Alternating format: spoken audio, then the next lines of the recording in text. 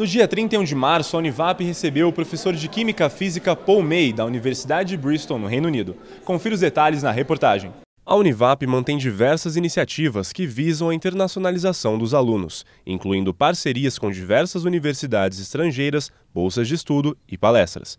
É, é, muito importante para nós que fazemos pesquisa ter parceiros internacionais, porque essa parceria ela é multidisciplinar é, e gera né, é, produtos finais, né, pesquisa, dispositivos finais, né, que são de excelente qualidade. Né, e a gente vai estar sendo avaliado e construindo conhecimento por pesquisadores internacionais, não só por, por um pequeno grupo de pesquisadores locais. Então a abrangência é muito maior e a possibilidade dos nossos alunos fazer uma pesquisa em um centro é, de excelência no exterior fica facilitada.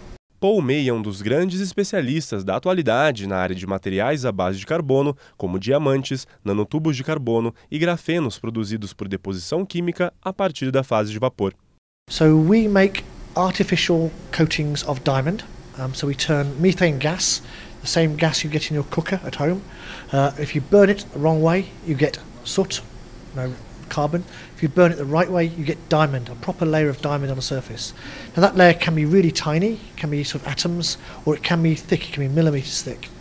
And once you have a layer of diamond, you can use it for all sorts of interesting things, not just gemstones, uh, jewellery, that's, that's okay, but you can use it for electronic devices, for faster computer chips.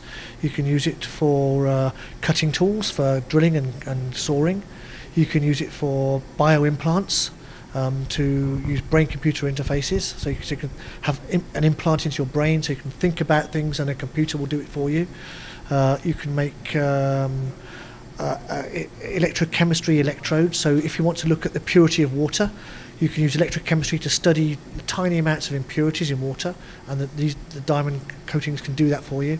A whole range of biological, uh, aerospace, electronic uh, applications can be done with diamond.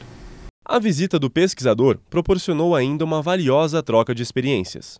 The engineering students are working on thin coatings, they're working on diamond-like carbon, uh, and although I work on diamond, it's very similar sort of ideas. It's it's to do with uh, biological interfaces, it's to do with hard coatings, it's to do with electronic materials.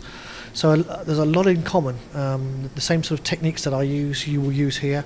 Uh, the students can get ideas about how they can use their materials in Brazil with the, the work that I'm doing, and also there are lots of possibilities of collaborations between the two, between myself and the students here because.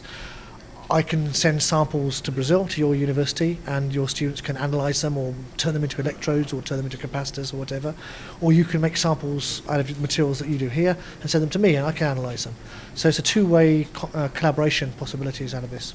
É, eu acho uma oportunidade muito interessante, principalmente para a gente estar em contato com pesquisas de países é, bem desenvolvidos, como a Inglaterra, e além do fato do, do é, o professor ser orientador do meu orientador, é bem bacana você estar em contato com alguém que tem bastante experiência na área, até para você absorver um pouco dos conhecimentos do campo que eu você, é, que eu estou trabalhando no caso. A palestra do professor é muito didática e estimulante. Acredito que ela serve como motivação para várias aplicações dos revestimentos de diamante e acredito que os alunos tenham ficado bem empolgados. Se você se interessa por iniciativas como essa, fique ligado nas redes sociais e no site da Univap.